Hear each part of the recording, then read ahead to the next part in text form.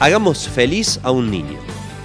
La comisión directiva de ATURC apoya la iniciativa de un conjunto de compañeros que han organizado una colecta de juguetes para ser entregados a los niños del barrio Oncativo y de la escuelita de fútbol El Pulmón del barrio Alberti. Las donaciones se reciben hasta el 21 de diciembre en Bedelía Central de la Universidad.